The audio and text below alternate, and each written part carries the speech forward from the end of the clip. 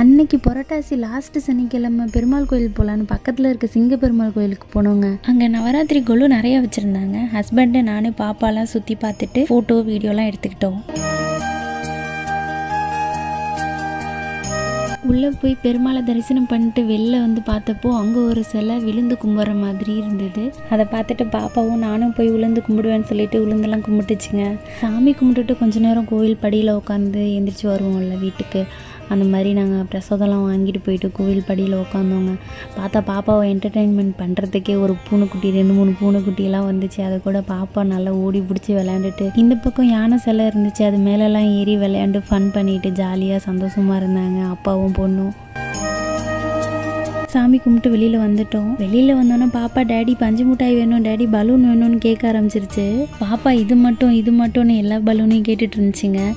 கடைசியாக ஒரு பலூன் வாங்கிட்டு வீட்டுக்கு வந்துட்டோங்க.